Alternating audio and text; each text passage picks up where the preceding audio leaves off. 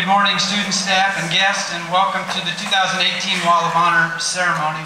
Um, I've had the opportunity this morning to visit with several of them. Actually, they really like to visit. I had to kick them out of breakfast to get in here uh, to get ready to go.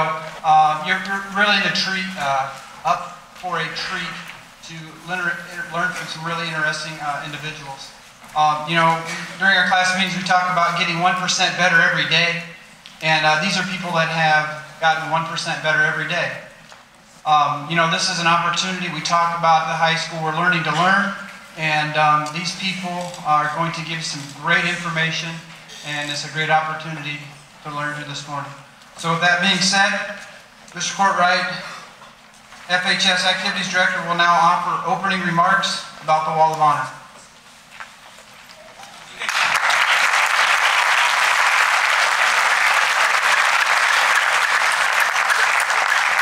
Good morning, Trojans. Can you hear me okay? Yeah. All right. I too welcome the Wall of Honor inductees, their family members, and their friends back to FHS.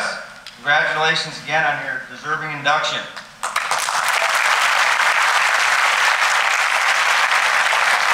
This is an awesome assembly that allows us to honor some of Fairfield High School's great graduates. I always look forward to this assembly because every time we hold it, I become inspired by the inductee stories and I gain some valuable insight into what it takes to be great. Students, I hope you too have this experience during the assembly and I hope that you realize that each and every one of you have what it takes to someday be a Wall of Honor inductee. My job today is to give a little background about the Wall of Honor, so I guess I better do that. The Wall of Honor was established to recognize distinguished graduates of Fairfield High School an organizational committee has been formed from school district administration and former FHS graduates. The Wall of Honor is funded through private donations. Anyone may nominate a graduate of Fairfield High School for this prestigious honor. Forms may be secured from the principal's office or from the district website and are due by June 1st of each year. In addition to being a graduate, living or deceased, a nominee must have, one, achieved distinction in their profession, public career, and or community service. And two, had a positive influence on the lives of others. An engraved plaque with a picture, biography, and citation for each inductee will be on permanent display on the north wall of the Fairfield High School Commons. This display exemplifies the high quality of education available to Fairfield students and allows inductees to serve as role models for these students. For more information about the Wall of Honor, please visit the Fairfield Community School District website or contact the high school office. I now turn the mic back over to our outstanding principal, Mr. Brian Stone.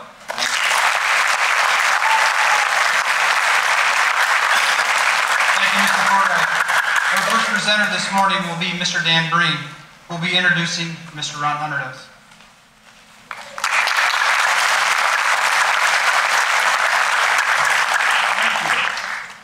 I look forward to this opportunity. Uh, Mr. Hunerdosse to some of you and Coach Hunerdosse to others, but Dos to most of us. Uh, we've been friends and colleagues and worked together on many things for 40 some years, so this is a, my chance to, to tell you a little bit about the man. These types of awards are generally centered around major achievements uh, sometimes in the arts, sometimes in the military or business or sports. And DOSA certainly had several of those. The Trojan Honor Plaza, you're going to see a wonderful addition out front. He's played a big role. Wait till you see that next year, uh, the entrance to this auditorium. And many other things. But that's really not what it's about with, with DOS. Uh, I want to explain why I really think he's here, why he's going to go on that laws he so richly deserved. And it isn't necessarily the major things. You've all been told that you should aspire to do great things. And I hope you do. And some of you will. But not everybody will. You may not have the talent or the good fortune or the opportunity. But I, I want to tell you what you can do. And you can follow the resume that DOS has. And I hope you all students out there consider this. I was an educator all my life, so everything becomes a teachable moment. You may or may not have the opportunity to major things, but you are going to have an opportunity to do the most important things. I want you to think about that. It's not, it's not going to be easy. It always sounds easy. Just do the right thing. But if it was easy, we all would be doing it. We would all have a lifetime of small achievements that added up to a, a grand life. But we all don't. So I want, I want to go over Dosa's real resume here. Starting with, how about treating people with dignity and humor? And do it every day. And do it with everybody, including the people who maybe don't have the popularity of the friends that some other people may have. But that would be Dose. Acknowledge people. Kids, smile, nod, acknowledge. Everyone, not just the popular, not just the strong. Recognize and protect the weak, the people who needed a, maybe a little friend, help. That would be dose. Raise a great family so the communities which they live in will benefit for the lifetime of, of their service. And then I want you to think about this. You all have your community service that you are obligated to do. Only one problem with that. That's a different kind of service if it's an obligation. Love and serve your community, but do it joyfully. Do it quietly, not for credit. Do it spontaneously, and do it for a lifetime. And when you do, this is what you end up with. You end up with a life well lived, and you end up in the community, and I'm so proud of Fairfield as a whole, that this is what you're going to recognize. A person who's done those things, lived that kind of life, and I hope you all would aspire to have the same kind of life. With that, my good friend and colleague, Mr. Ron Hunter.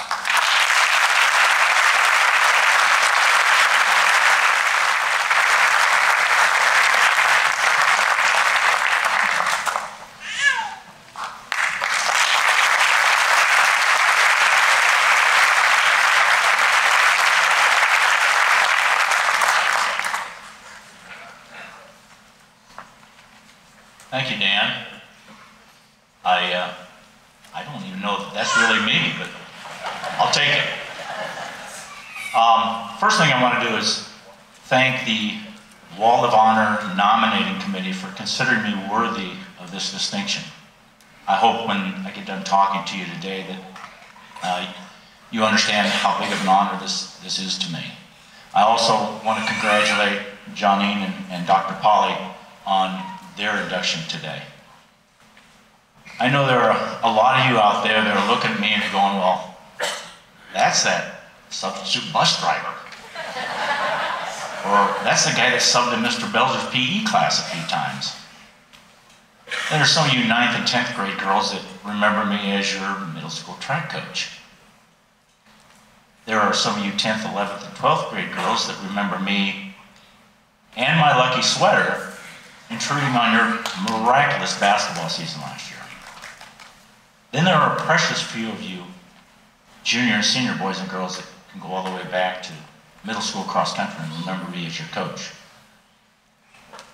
Now, all that's true, but none of you know how I got to the point where I'm standing up here talking to you today. You don't know the errors I made, the hurdles I had to clear, the patience and the persistence and perseverance that I had to display to get to this point. It's my goal today to give you a short story of my life and then try and connect some dots for you that hopefully help you with uh, your future plans. And honestly, if even just one of you walks out of here today after listening to us talk and feels a little bit better about your future than you did when you walked in here, for me, that'll be a successful day. Just one. It only takes one. I've lived in Fairfield all my life, 68 years worth. I was born the third of four children to Ivan and Marie Hunerdosse. It's only through my parents' courage and determination that I'm actually walking this earth today, let alone up here talking to you. You see, my late oldest brother, Bill, was born with a birth defect that caused him to go blind at birth. Both of my parents had to carry this flawed recessive gene in order for that to happen. The doctors, I'm sure, didn't know what they had on their hands when they saw the bones shifting in my brother's head. So they recommended that he be institutionalized. And of course, having more children, well, that was going to be a dangerous option. My parents rebuked the experts. They were determined to keep Bill at home and raise him there. And they were also determined to have more children. So in between older brother Bob and younger sister Janet, in 1950, Ronald Ivan was born. I lived my entire youth, from birth all the way through high school, in one location, 405 East Hempstead. Here's why I'm telling you that. You go out the back door to the band room, across the street and practice field, up the hill and about a half block to the west. That's my place. I remember a dirt floor basement. I remember a coal furnace and a bed that shook when the trains went by just to the north of our backyard. You can imagine that. I also remember that my dad used to give the three of us boys butch haircuts about every three or four months. And I know some of you out there are thinking, must have gouged that little fella a little bit, huh? I can assure you, all this happened quite naturally. My dad worked in a factory. My mom stayed home with the four of us kids. We weren't long on material things, but I didn't even notice. I was too busy enjoying my ginormous playground. That would be high school grounds. Right back here behind the school, the lower practice field where they do the shot put and the discus. That used to be the high school pond. That's where I learned to ice skate and hunt frogs with my slingshot. Then there were the hills for sledding and the fields themselves for things like kickball, baseball, football, golf, flying kites. And then over here to the west side of the school grounds, there were the upper and lower tennis courts with a couple of basketball hoops. And yes, Anada and Yana, I had a pretty good self-taught game of tennis at the time. Of course, we had Trojan Stadium and the gymnasium, which we snuck into on multiple occasions. Within a one block radius of the school grounds, there were three families.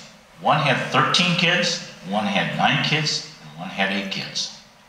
It was all day recess every day, and it was right there at my fingertips. I went to Washington Elementary. It was a two story structure, looked a lot like the one at the rec center. And that's where I developed my distance running skills by running the half mile home for lunch gobbling my lunch, and then running back so I could be one of the first ones on the playground for noon recess. I went to elementary school through seventh grade, then it was on to the Pence building for junior high. It was there that I was introduced to interscholastic athletics. I played basketball and ran track, and I was hooked. So now it's on to high school, 10th through 12th grade. Uh, class sizes back in those days, in the late 60s and 70s, were easily 200 students or more. My life revolved around athletics, and it went something like this. Sophomore year, cross country, basketball, track, baseball. Junior year, do what I did the sophomore year. Senior year, do what I did the other two years. I was involved with other activities, but sports was my passion. Study? I didn't have time for that. I was too busy. And the fact of the matter, I didn't make time to study. I didn't have the self discipline uh, to do what I needed to do. I was doing just enough to get by, unfortunately. I graduated in 1968. Now it's time to go to college. I wanted to get out of town to go to college, so I enrolled in a small school in Lea, Minnesota. Uh, I wanted to pursue my baseball and basketball career, but I also started coming to the realization that I needed to figure out what I was going to do for the rest of my life after college. So I actually started to study. It was really hard at first. I had never spent that amount of time studying. I didn't know how to organize things. I didn't know how to make things important, how to filter some things out because they weren't important. But I was a quick study on it. I figured it out. I also figured out it was not going to be financially sustainable for me to go to college away from home. So after one year, back to Fairfield I come. Thank goodness there was a four-year school right here in Fairfield, Parsons College. Honestly, had that not been there, I can't tell you with any certainty that I would have continued with my higher education. There was no real family history of that. But because I could stay at home and avoid the cost of room and board, and I had a part-time job at the local Hy-Vee store, all of a sudden college is a reality for me again. I graduated in my four years, and I did it with zero debt. Well, now it's time to get a job. This shouldn't be too hard. Among my awards in college, I was named the most outstanding physical education uh, student at Parsons College for the class of 1972. I'm a big deal. Well, evidently I'm the only one that got that memo. Because all the places I sent resumes to, I got zero interviews, not a one. So I had to swallow my pride. There was a job opening right here in this school as a study hall supervisor. Not a teacher, a supervisor. So my first three years, my professional growth went like this. Half-time study hall, half-time physical education, and coaching three sports. Needless to say, I was getting a little discouraged with my professional growth. But on the other hand, there was an uptick in my social life. I met a cute young gal named Linda Book. She was a teacher at Pekin. We got married in 1976. The following year, that summer, I was offered a job as a Farm Bureau representative in Sigourney, Iowa. We even looked at housing, but I decided to turn down the job that probably would have altered my life forever. I decided to stay patient, come back home, wait for that full-time teaching job. I also decided to get my master's degree. So during the summers, I enrolled at Northeast Missouri State University, now known as Truman State in Kirksville. I got my master's in physical education with an emphasis in sports administration. Now it's time to start a family. Linda and I were blessed with three children. Two girls, Carrie and Aaron, and son, Eric. Thank goodness they understood the importance of an education and the power of good study habits. They were all excellent National Honor Society students. Now they're out in the world making their contribution to society. It was also in 1986 that I finally got that full-time teaching position at the middle school. I met first-year teacher Nancy Ralston. That would be Mrs. Deers to most of you. But one of you has the privilege of calling her mom. We were a great fit. I spent 22 years uh, teaching physical education with Nancy until I retired in 2008.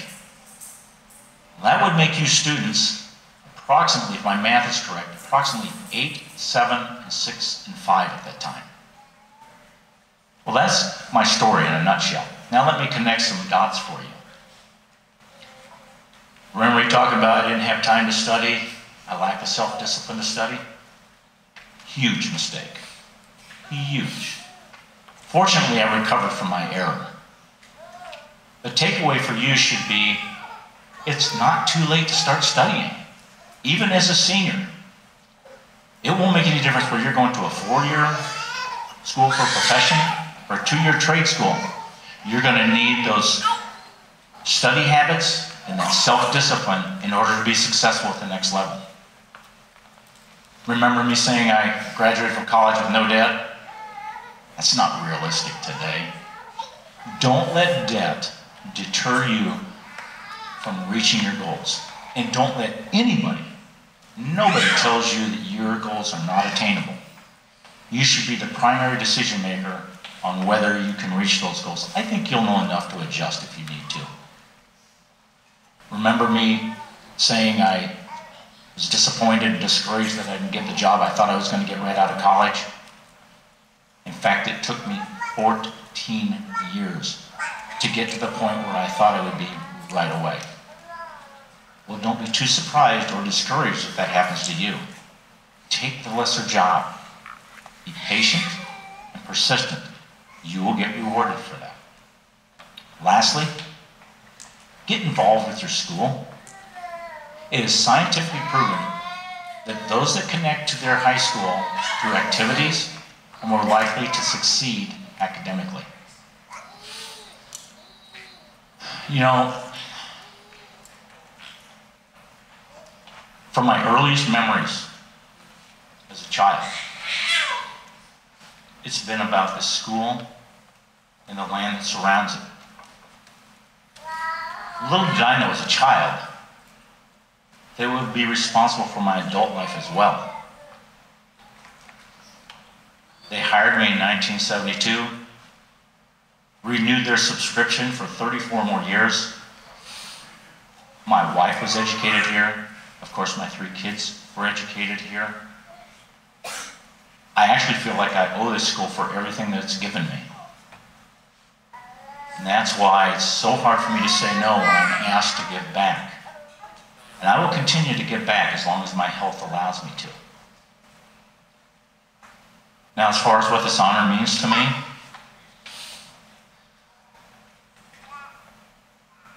my wife and my children, I think they know. I think they know the magnitude of this moment for me. That's why my kids took uh, vacation days and personal days so they could bear witness to this moment. This school and this land surrounds it. It's sacred ground to me. The colors of orange and black, they run deep inside my body. So for me to be honored on that wall with all those great people at a school that's given me everything, it means I've come home. I've come home permanently to a place that I never ever left. Thank you for your patience. Go Trojans.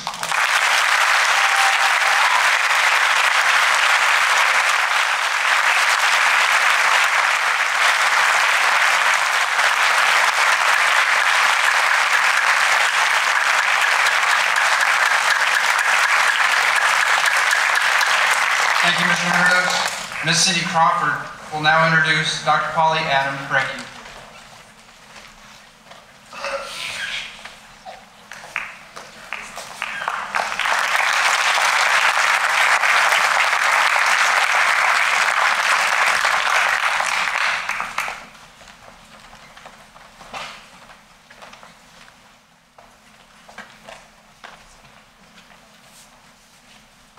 Polly Brekke, known simply as Polly to everyone, is employed by the Des Moines Public Schools.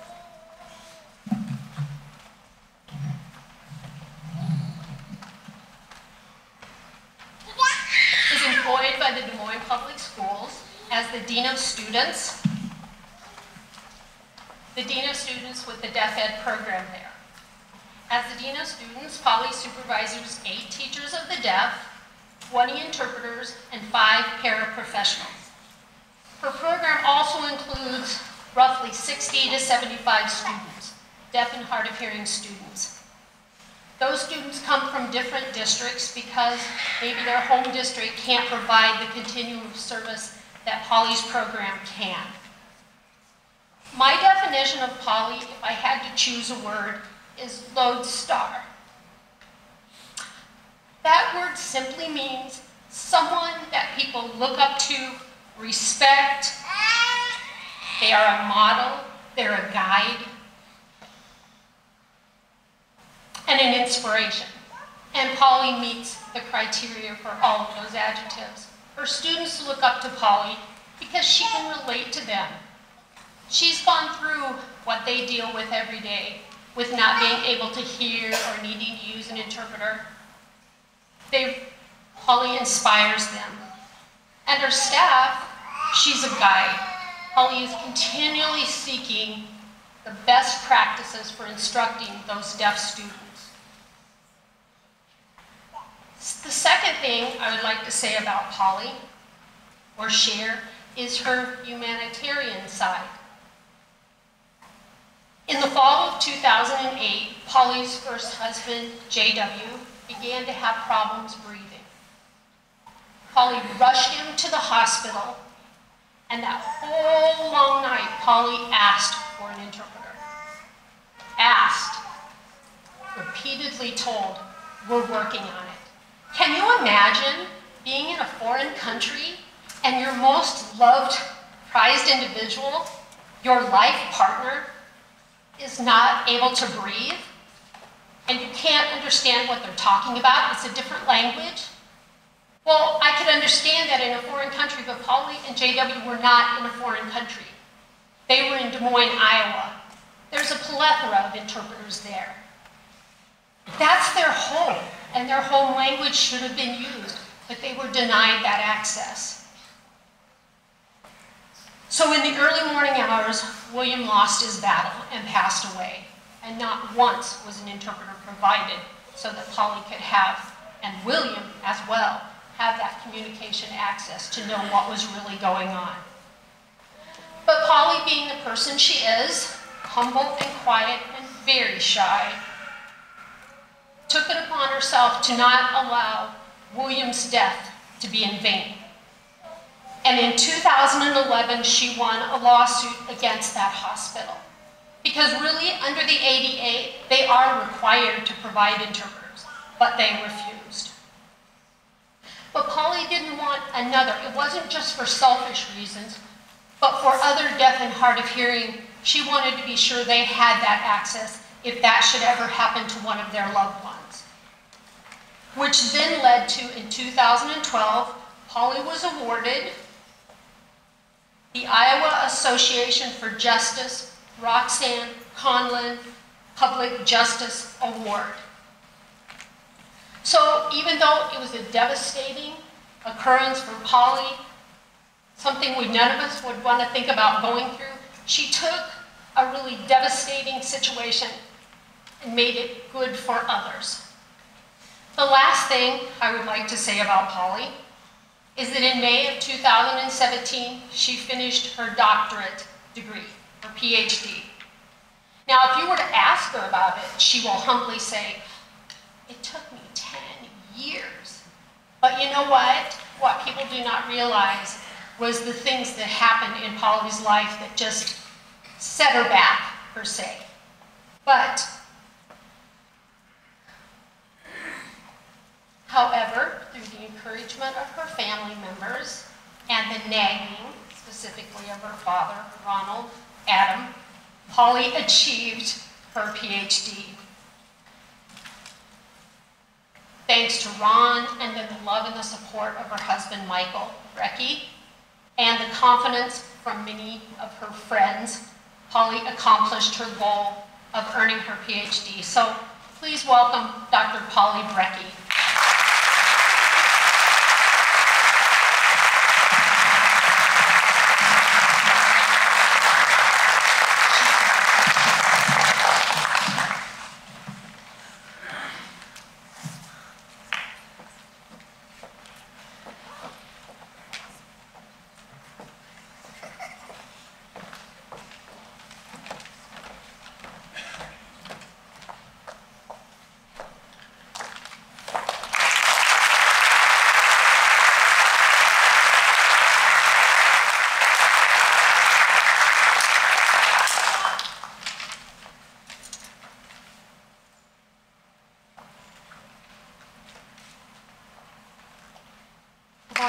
Everyone, and I am deeply honored to be here today and recognized with this award. Thank you all so very much. It really is a daunting task for me to be here and to think about what I want to share with all of you about my life experiences. Because really, as I look back on my life, my experiences, I consider them equal to everyone else. I don't see anything special. But I do know that I am here and I have been nominated for a reason. So as I was thinking about the reasons as to why I would be here and what makes me different than anyone else. Number one, I'm deaf. You can clearly see that. I sign, I have an interpreter, she's voicing for me today. I sign, I speak. I use beautiful ASL, but I also love English as well, and I've used that my whole life. So there are just different ways as I look back um, through my life as far as things with my hearing loss. I have a threefold message for you. I'm a proud graduate of Fairfield High School, 1987. My dad graduated in 1958, and my brother graduated in 1991. My mom graduated, but it was from a different high school. The three of us, our family, all grew up here in Fairfield and graduated from Fairfield High School. I was born deaf, but my parents did not know that until I was three years old and nine months. Back at that time, they didn't have the early hearing detection that they have today. So when my parents saw me, you know, how would they figure out if a child was deaf? I was a really quiet child, but I was a very happy child. They only, I only, but I only knew two words, hot and juice. That was it. And my parents thought, well, that's probably pretty common. And then they found out that I was deaf. In my family, though, my dad's family, I have over 62 first cousins. None of them are deaf. I have over 100 second cousins. None of them are deaf. And then on my mom's side of the family, I have 20 cousins. None of them are deaf. I'm the only one. So, when my parents found out that I was deaf, they gave me what's called a body hearing aid. You had the, the ear molds in your ears and the cords to the box on your chest. So I grew up with that. And then I think it was in fifth grade, I finally got the on the ear hearing aids. I was so excited because back then I had this box with these straps and these cords. Everybody noticed it. So I was so excited when I finally got um, on the ear hearing aids. I went to Washington Elementary School through kindergarten through second grade. I, I didn't have any support back then, nothing. But the teacher and the other staff began to notice uh, I wasn't learning. I wasn't doing the same things that the other kids were doing, and I was behind. But I didn't have any idea um, that I was any different. But I do remember that I would sit at my desk and I would constantly watch my neighbor. And whatever they wrote or whatever they did, I would copy it. I would just copy what they were doing because I had no idea what I was supposed to write or what I was supposed to do. So I would copy other people's work. That year in second grade, it just so happened the principal and um, it was Mr. Dooley at that time, and my teacher, Mrs. Olin. The two of them um, started a discussion with my parents about perhaps sending me to a different program um, that had deaf education services. Because it just so happened at that time, um, they passed the law that was a special ed law, um, the IDEA. It was a Dis Disabilities Act. So the school districts were then required to, to provide free and appropriate public education, the same as everybody else. And so that happened when I was in second grade, and they had set a program up at another district.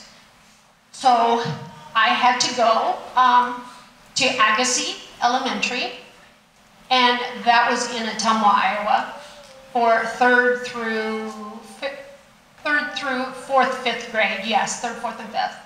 Now, they had a teacher for the deaf, and her, her name was Mrs. Olson, and she would sign for me. Then I also had another teacher um, that taught a general ed class, but she decided for herself that she would learn to sign. So I was in her classroom. Her name was Shirley Lockey, and she taught and signed and spoke all at the same time. There was one other deaf student in the class with me, so it was wonderful because I felt like I fit in and I had that feeling of belonging with the class. Some of the hearing kids there learned to sign as well. So I also had friends. Then that was time for me to go to junior high. So I stayed um, in Ottumwa um, through junior high, seventh and eighth grade there, and I had a sign language interpreter for my classes in seventh and eighth grade. She was there all day. Now in ninth grade, um, my parents wanted me to come back here to Fairfield because um, this is my home, and they wanted me to be close to home. And I knew that um, Ottumwa High School um, I really didn't want to attend school there. So I was really happy that my parents um, talked to the staff here and made the arrangements for me to return here to Fairfield High School. But they looked and looked for a sign language interpreter. My understanding is they looked, they interviewed, but they could not find a qualified sign language interpreter. There just weren't any. So they decided that they would provide me note takers. And they hired a woman that would sit beside me and she would take notes in all of my classes for 9th through 12th grade. So the first two years, it was Ann Buchan. She was my note taker. And then um, later it was Diane Schneider. But those notes, they really were a team um, when they brought me back and let me be a part of the um, Fairfield community with my friends that were in my neighborhood. Because then I was able to go to school, I knew who my friends were here. I'm very thankful for those note takers because those notes would be given to me. I would read them every night when I got home. Because at that time, when I went to class, um, I had to do a lot of lip reading, which really is very hard to understand. But if a teacher would turn and write on the board and talk at the same time, I had no idea what the teacher was saying. So things like that would happen, and I missed a lot of information. The notes helped me a lot.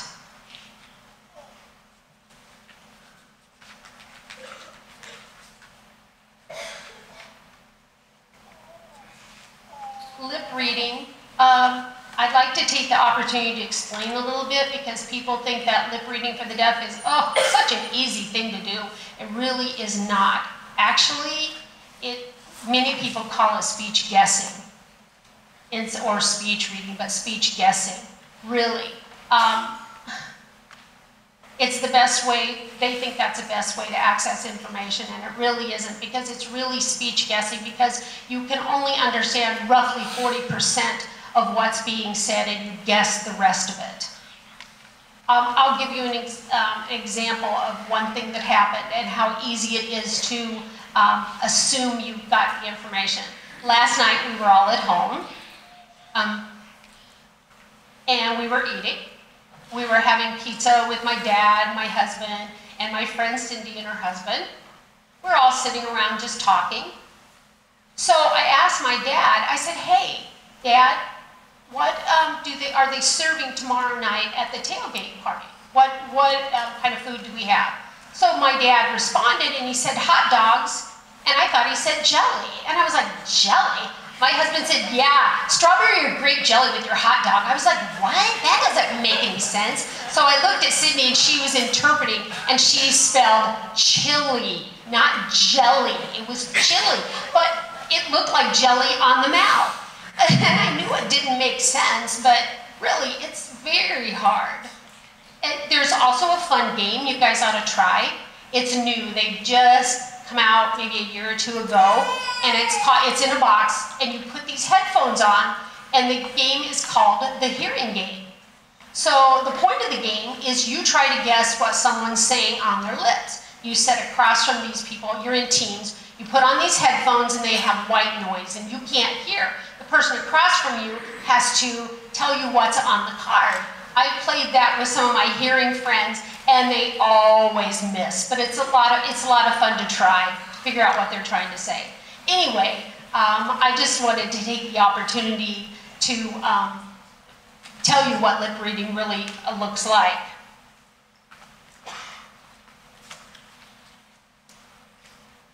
When I look back at my high school time, I am just very thankful for many things. I got a quality education here in Fairfield. I value that. It was very important. That set the tone for the rest of my life to keep going and give me a better future and a better life. I had teachers and administrators that genuinely cared about me. And I, they know who they are, and I remember them.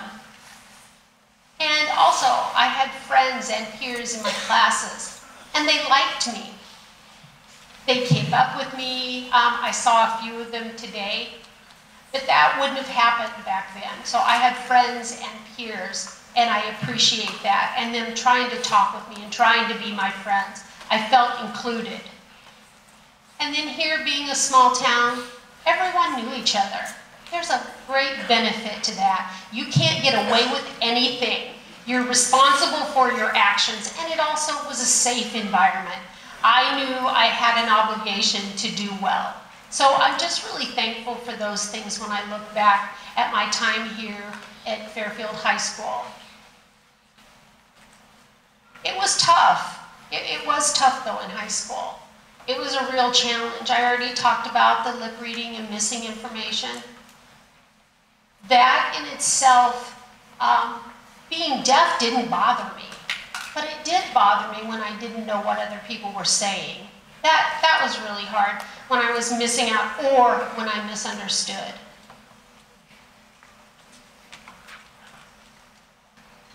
So I was really proud to graduate from uh, Fairfield High School.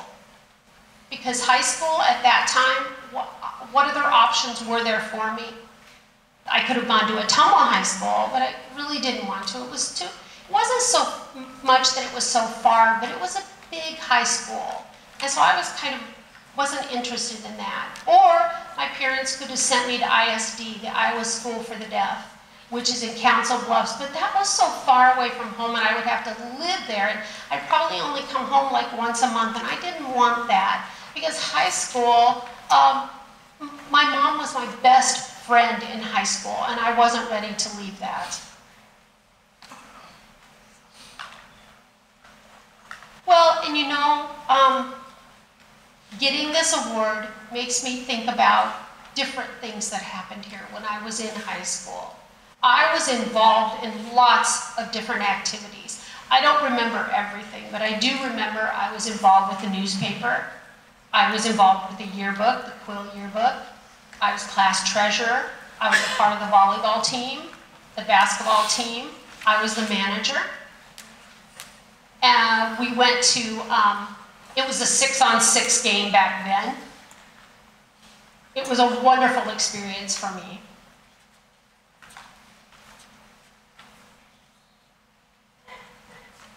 Also, um, being involved with all of those activities was my way to um, get to know people, make friends, because really I had to take the initiative to start the conversation sometimes. And I'm very shy. That is not easy for me. I don't approach people well. I tend to be very quiet and wait for them to come to me. So, because I am quiet. But you have to find a way to make connections and to get involved. And that was my way to make those connections. Um, socially was to get involved. After I graduated from Fairfield High School, I went to Central College in Pella. And I graduated with my BA in psychology. That school experience was um, even more difficult than high school because um, it was the same type of things as what you have here in the high school. I had a note taker there. Um, Fairfield hired the note taker for me here, which was great.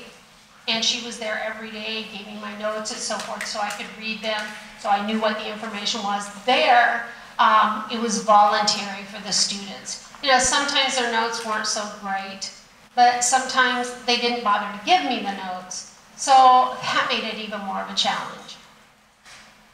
And there was a lot more class discussions and people talking in groups and so forth. that was almost impossible for me to follow that conversation because when you're in a group, one person starts to talk, and by the time I realized who was talking and looked over there, I had missed quite a bit of what they'd already said. And then somebody else would start talking and try to keep up with it and figure out who was talking, what they were saying.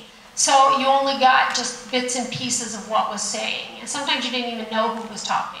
And those classroom discussions were very popular in high school or college when I was there. Now, I did make some arrangements with my professors um, to be sure that they would give me, when they tested me, they only they didn't cover the discussion.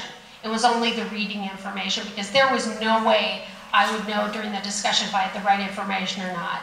But I, thankfully, I was a very good reader. So that was really my way of getting through college.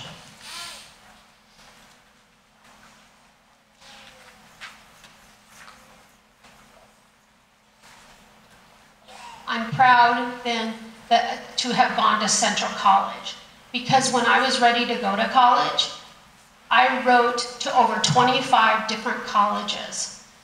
And back at that time, um, I didn't know if they had services for the deaf and hard of hearing or not. Uh, every one of them, except for Central College in Pella, were willing to work with me. None of the others were. The others, they said, mm, we don't have the services. So that made my decision much easier, go to Central, because they were willing to use some accommodations for me. They gave me, um, for my bedroom, my dorm room, um, a flashing light if someone were to come to the door, or I had a TTY with a flashing light if, if the phone would ring. There were a lot of different accommodations that they gave me that helped me, and I really appreciated them um, taking the time to do that for me. Now, today, under the ADA, they would be required, I mean, those universities um, get public funds to provide the accommodations for individuals that have disabilities, but that really wasn't an option back then for me.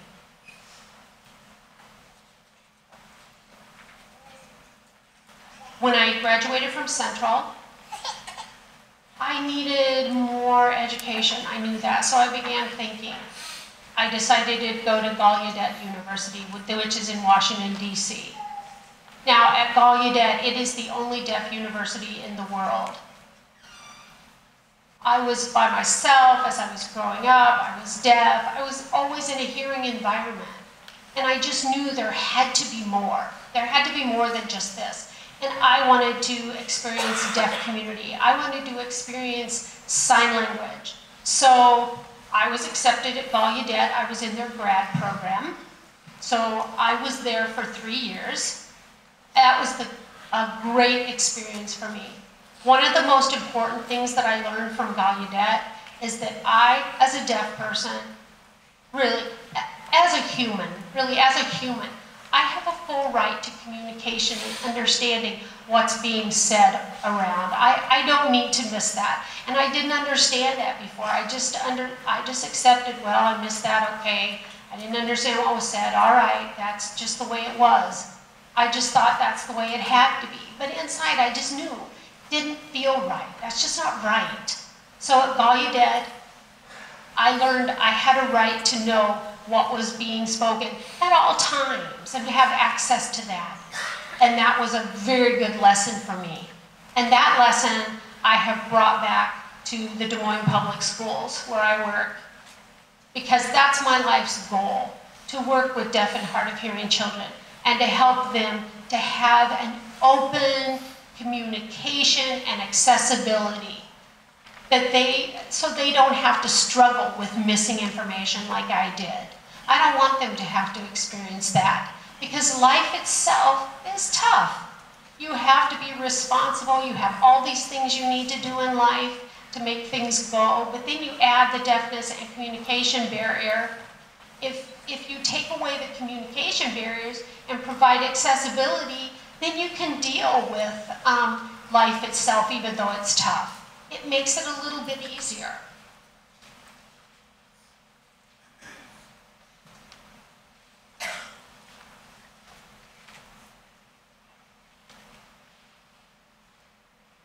I, you all know I work for Des Moines. I also teach ASL and deaf culture classes at Drake University, those, um, two, those two particular classes. My goal in life is to be sure that we increase communication access for deaf and hard of hearing, and hearing as well. Because it, the benefit from that is its visual support. I'm very lucky in my employment that I'm able to develop many important relationships with many people that I work with, that work with students out there, and staff, and colleagues, and administrators. Relationships really are critical. The tone from Jess Omer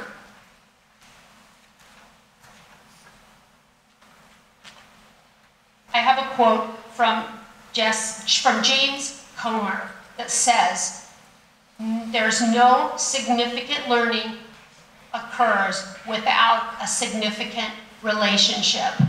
So I think about you guys, all of your lives while you're in high school right now and on into the future. I hope that you have a significant relation with someone at school, someone that inspires you and motivates you. It's really important because that is the key to unlocking the door and to learning.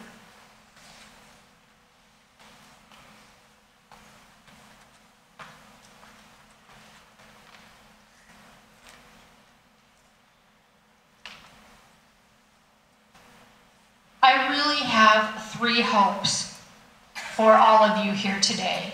One was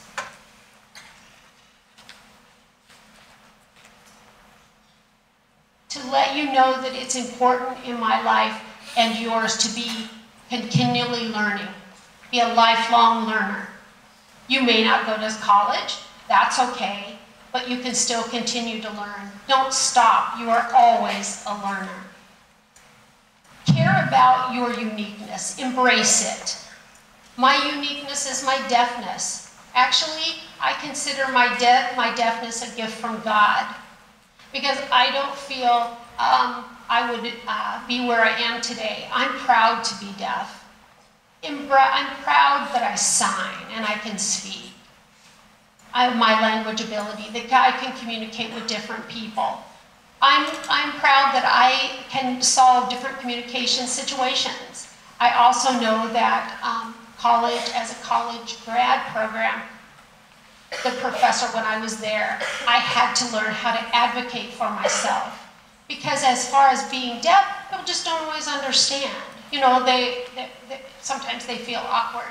And you have to have the confidence in yourself to let people know what it is that you need. And you should do that and value that uniqueness about yourself and ask for what it is that you need. Don't be afraid to ask people. People are willing, they sometimes just don't know and you have to advocate. There may be many situations that are involved in professionally and personally that I've had to advocate for myself. Cindy shared one of those examples with you already. In that particular situation, it involved my first husband and the hospital. It was a terrible um, time. But it also, it happens to other deaf people too, and I don't want them to experience that again or that same thing. I want them, I want to fight to open that up and have that communication access provided everywhere.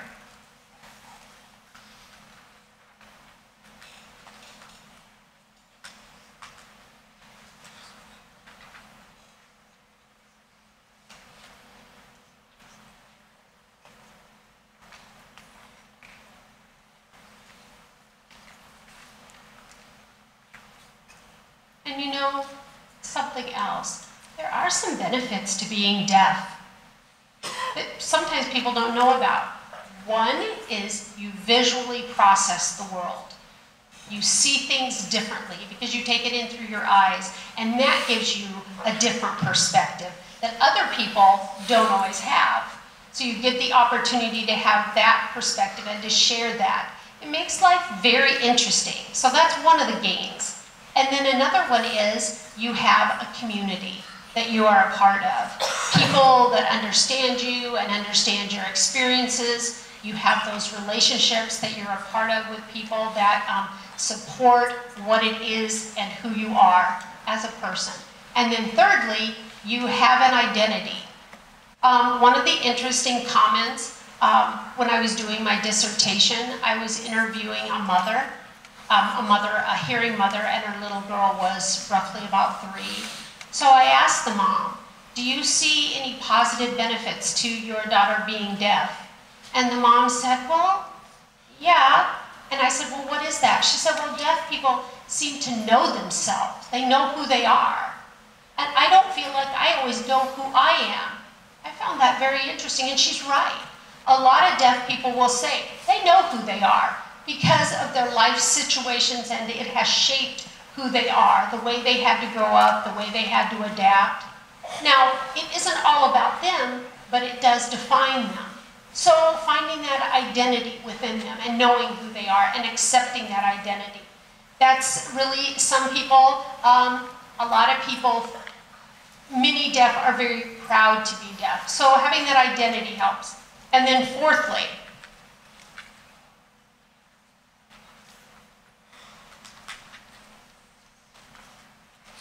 the things that help a deaf person, texting, it helps everybody else. Closed captioning, that helps everyone else. Everything that helps a deaf person pretty much helps everyone, and that's kind of a nice benefit to being deaf. The last benefit is you can travel anywhere in the world and you don't have to be fearful or worried about communication access. Because even though they speak a different language, you can, deaf people know how to use gestures, they can draw pictures, they can um, visually show things to people. It, deaf people aren't afraid to travel anywhere. Um, they know it's okay and they can figure out that communication. So I hope also that you learn and value and embrace your uniqueness and who you are, and that you advocate for yourself, for what it is that you need. So in conclusion, I would like to say thank you to several different people. All of you here today that have allowed me to be here and to share my life experiences with you. My parents uh, for raising me to be who I am. My mom is sitting over here, my father's over here. my husband, his support, continuous support. I couldn't do this without him.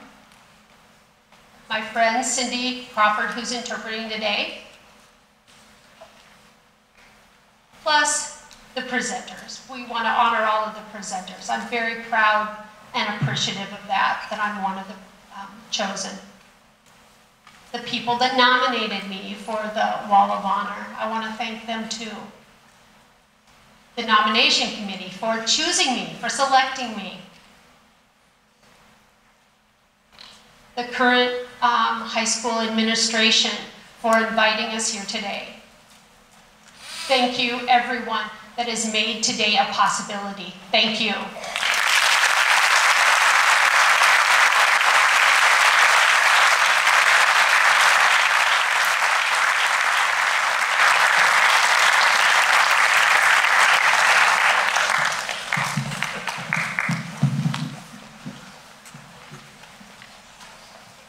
Thank you, Dr. Brekke. Ms. Sally Johnston will now introduce Ms. Johnny Parker.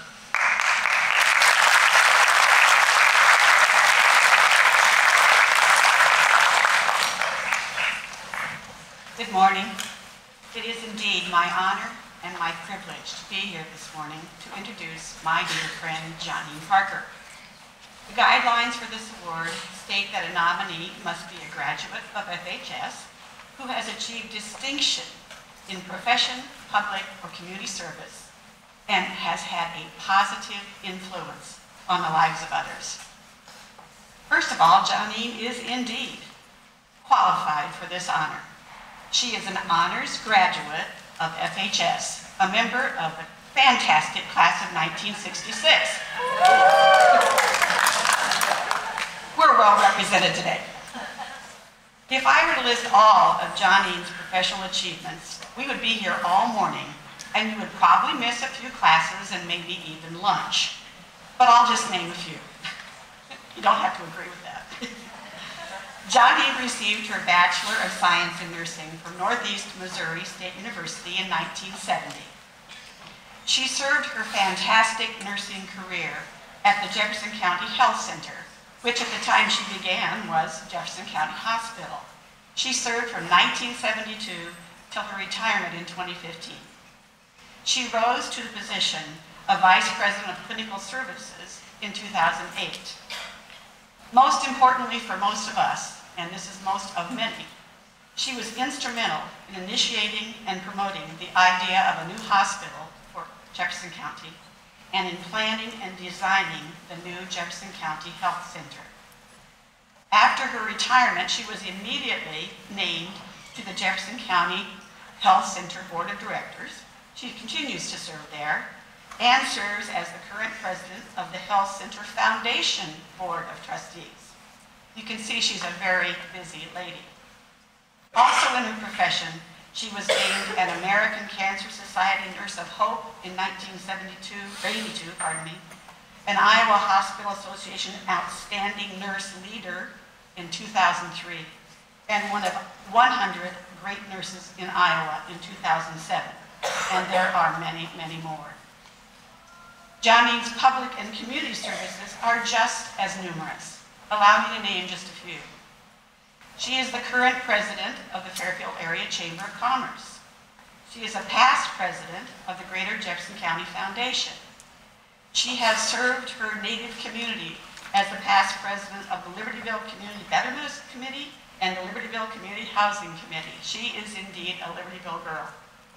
And she was a founding member of the Fairfield Arts and Convention Center Board. Again, many, many more.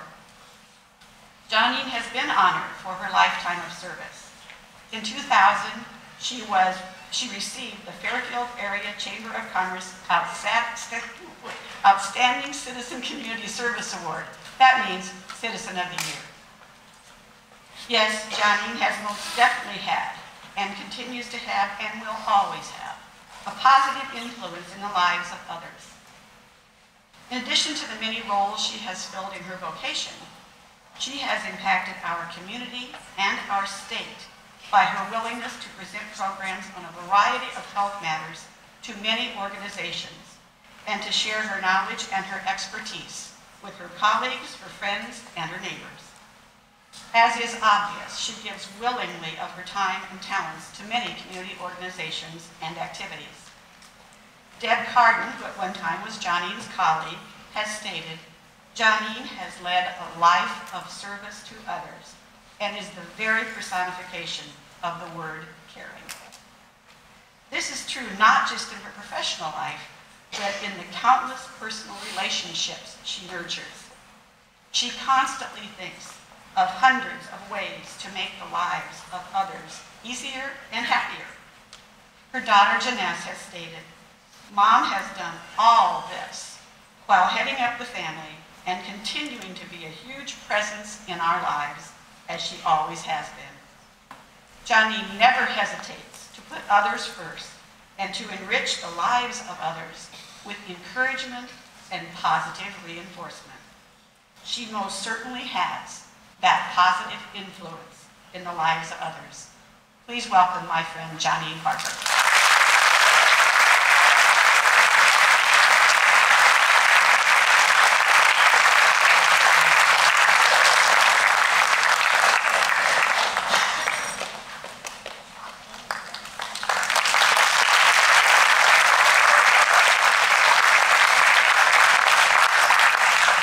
Well, you know, when you're standing someplace and wondering, who are they talking about? That's kind of how that was. I am so grateful and so honored to be here, and I humbly look out at you as this uh, great honor has been bestowed upon me, and don't really know quite how that happened, I guess. I'm looking at an auditorium packed with stars, and some of you know you are, but some of you don't know it quite yet. I'd like to start and tell you a little bit about me and how I grew up. I am a Libertyville girl. Any Libertyville people out there? Come on. That's good. We like to see that. When I went to Libertyville School, or when I grew up there, it was K through 12. It was a small community school, but it had some fantastic teachers. And it was a place to go that was an eye-opening, smile-making place because it was an opportunity to learn, even with some of the harsh disciplinarians we had who tried to control those of us from Libertyville. Um, I decided early on that I would not mention a lot of different people because I would surely leave somebody out, but they were there and they were there for me. My early life had some tough times. Seven of us resided in a, a small three-room home. We were very poor, and it was very embarrassing to try to talk to the grocer or to the dentist or whomever about how we would try to scrape together 50 cents a week to pay for our services or our bills. And I'm telling you this because I know you're, I am sitting out there in some of those seats, and I want you to know.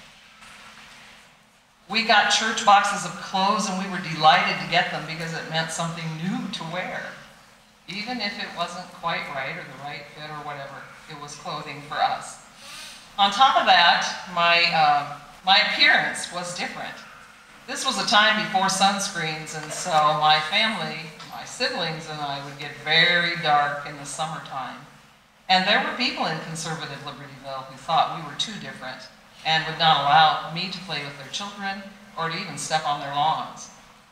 You add to that then too, my family owned a tavern, Smith's Tavern at Libertyville, which is now Peck's Pub, some of you know. Um, again, a very conservative town, and I remember so well sitting in church and junior choir one day and having the minister speak and preach openly against my father using his name. And I was too embarrassed and too weak get up and leave that assemblage. And I was overweight. Oh, me and the calorie, let me tell you. We have been friend and foe my entire life, my entire life. When I was nine years old, my dad died. That left us five children and mom. Mom knew she would have to go to work, at least two jobs, just to try to feed us and keep us together. My older sister Jan and my mentor was, had left nursing school to come home to take care of dad during his last time. And our mother, staunch and determined she was, insisted that she go back to school. And she did. That left me to be mother to the six, four, and six-month-year-old people while mom was gone. And I apologize right now because I didn't know a whole lot about it right then, and I'm not sure I picked up a lot along the way, but they're good people. They're great, great people. My mom was a feisty, gritty, independent woman. She meant to keep our family together, and we were a family, and we fought like a family, but we stood up for each other too. We were lucky because there were many families in Libertyville that were in the same boat, and there were good people and I started the list, and it just, it just couldn't happen because there were so many good people who thought we were okay. We could play with their children. We could make friends, and I do say friends, good friends. I can't emphasize that enough to all of you. Make the right choices in your friends and hold them dear and hold them close because they are everything in life. They really are. They carry you through. And we learned a work ethic early on. We had to work. It was the only way that we could get by. And you know what? I knew I was going to succeed. Then came along junior high, and guess what? We integrated with Fairfield.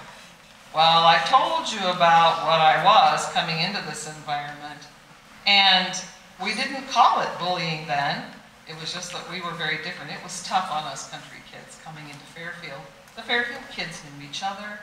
We were brand new, and I remember the day that we came on the bus, our superintendent said, now remember, you're going to be looked upon as Hicks from the sticks. Remember, you're good people. Remember that. So, anyway, we worked at things. There were more good teachers. There were exciting things happening in this town of Fairfield, which we didn't get to very often because getting out of Dodge, being Libertyville, didn't happen very much. I once tried to dig to China because I thought it was way out of town and I found this piece of old rusty metal, and I thought, man, this is probably from the Silver War, because I didn't know that wasn't really the Silver War. But uh, when neighbor's dad fell in it, that didn't go over well, so I quit digging to China and just waited for chances to get out of town. So, on to high school. Opportunities, oh my goodness, opportunities here, incredible opportunities, chances to learn. More new friends who'd been acquired in middle school, which it is now, but junior high for us, and then more new friends in high school. And an education, wow, an education. You know, in your life, sometimes you have to look at what you don't want to do to get a good vision of what you do want to do as you're moving along. Excellent college prep. Oh my goodness, if I could tell you, and I know there are folks here in the audience today who are near and dear some, to some of the teachers I would name, who made sure that we learned what we needed to know to go on to college, and it made college much easier. Activities. There were activities when you could get away to do them. There was music. There were things going on, you know, things that could touch your soul just like it could touch your vocal cords. And you know you can't take the past with you your whole life. You start dropping those things and recognize that you can be a person in your own right. Your own right. It's okay. It's good. And look with optimism on your future because that's where we want to reside with optimism for sure. FHS prepared me and I was ready. A wonderful, wonderful woman here said, what do you want to do? And I said, I want to be a nurse. And she said, I think we can make that happen. And it wasn't until years later that I realized I didn't choose to be a nurse. A greater power directed me to nursing and made it my life's passion and made it something that would give back to me hundreds fold over my lifetime. Now, school and life taught me a lot of lessons, and I want to tell you that I'm still learning. Life's about choices. We choose to try rather than giving up. Now, when you were a baby and you stood up to take that first faltering step and you sat down on your bones, guess what? You got right back up. You tried again because I saw you walking in here today. I know you did. I know you can do it. If we carry that through our whole life to try and try again, what a great world this would be for everybody. We choose to understand. We choose to understand people, people who are different than we are, who are different in cultures, in diversities. We choose that.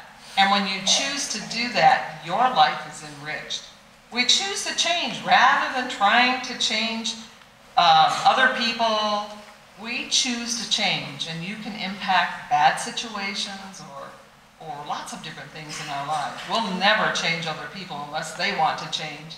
We're, we're in charge of us, just us. We can change us and choosing to recognize, and this one came along, was kind of long and drawn out, that problems are just opportunities to make things better. Maybe can't impact the whole thing, but if you can impact part of it, or you can do the whole thing, do it. Chip away at it. Opportunities, not just problems. They're not in our way. What can I do to change this around for me to make it better for others?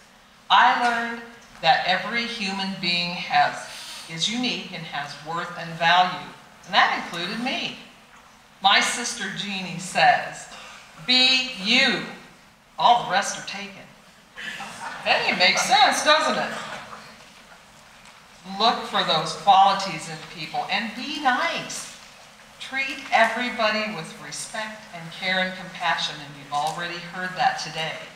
You be the one that makes eye contact and reaches out and says hello or whatever. You be the one to include people because you don't know what other people are going through. Bullying, ridiculing, belittling people will always make you the loser. And you know what? Someday you might need help. There might be a plea from you, and guess what? One of those people might be the one there. And do you know what else? They'll give it freely and willingly to you because they walk the walk and they know what that feels like. And when life is all done at the end, and I certainly have been part of the beginning of life and part of the end in many situations, it's not anything about what you have, your possessions, your things. It is all about people. It is all about folks and those people who are in your life. And it's not so much what you say or what you do with people, it's how you made them feel that's going to matter. that's going to really matter and that's going to really set you apart. I've learned to never assume. I challenge you to look down at your shoes. Nobody walks in them but you.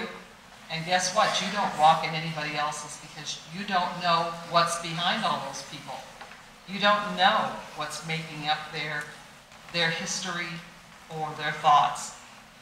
I've learned to respect ethics for sure, and I'm hoping that you've seen ethics in work in this school, in your community, in your churches, in your families.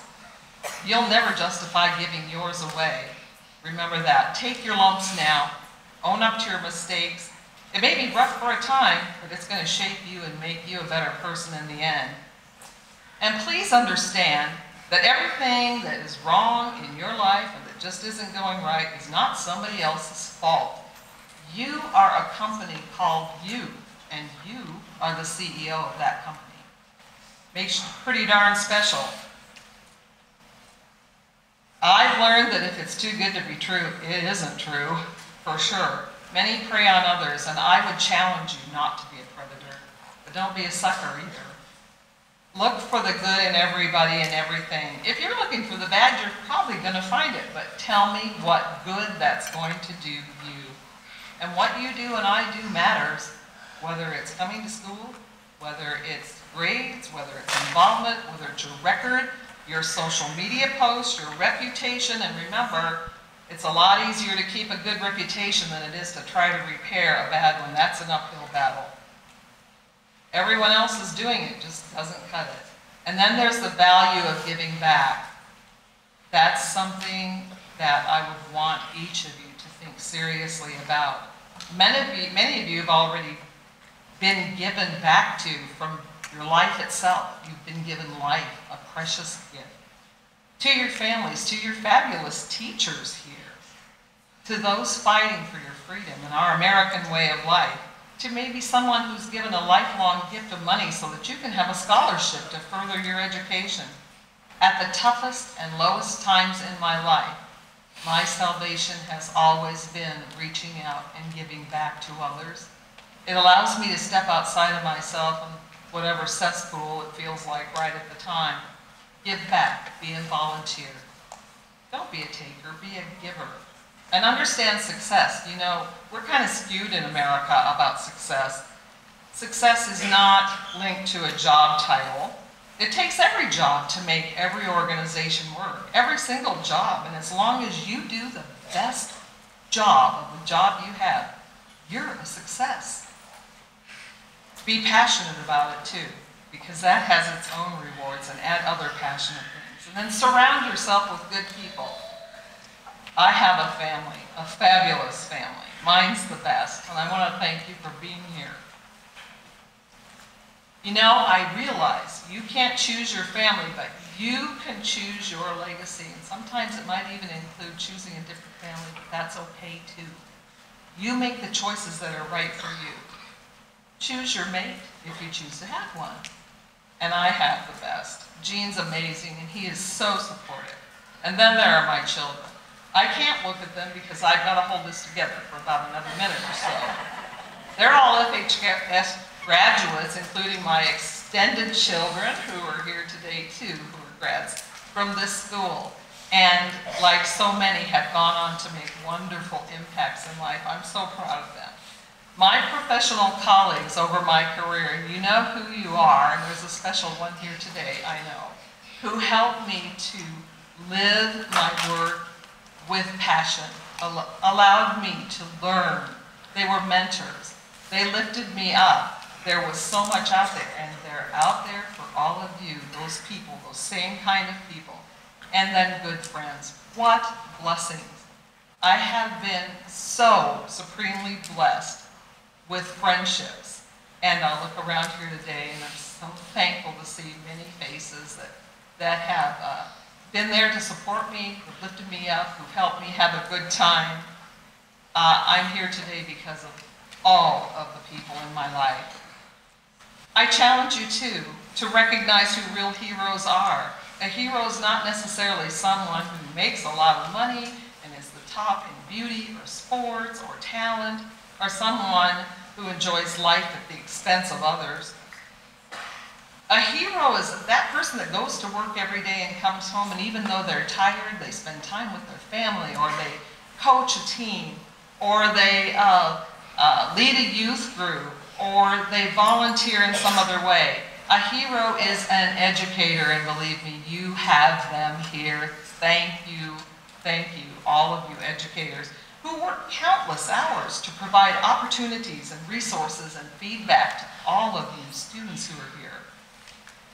Heroes are students like you who come here every day, who are involved, who are involved whether you sit on the bench or whether you're on the athletic floor or field or whatever, who also volunteer, who help at home, people who serve on boards and committees. Heroes are common people with uncommon valor.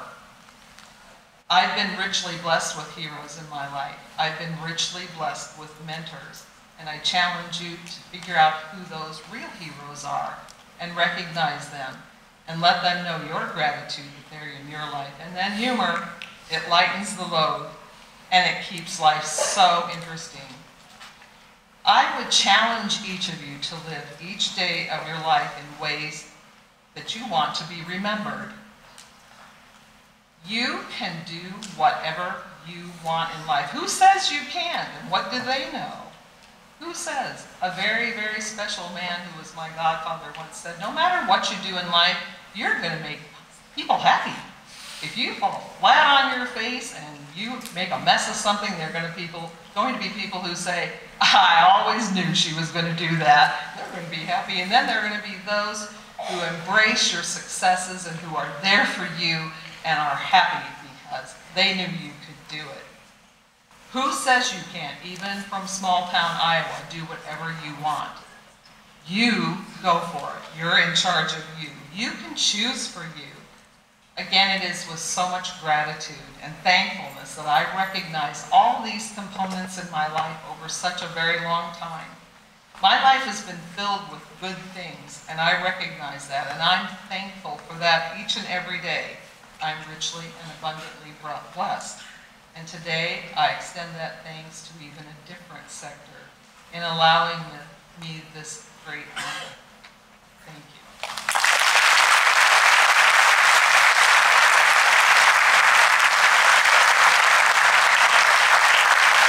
Thank you, Ms. Parker. This time, we will have music by the FHS Box Choir under the direction of Mr. Zach Ryder.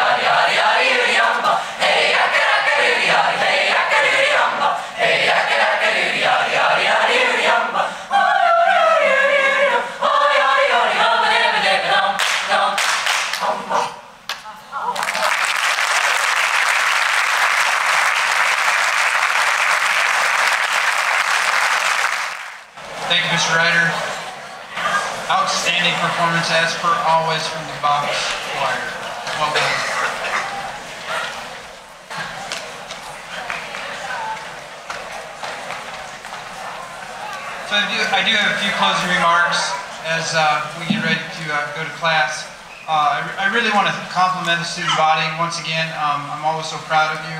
Um, you do amazing things and you sit here and uh, I believe you took the opportunity to maybe get 1% better from the knowledge that was shared by our new members. So give uh, the student body a hand if you would.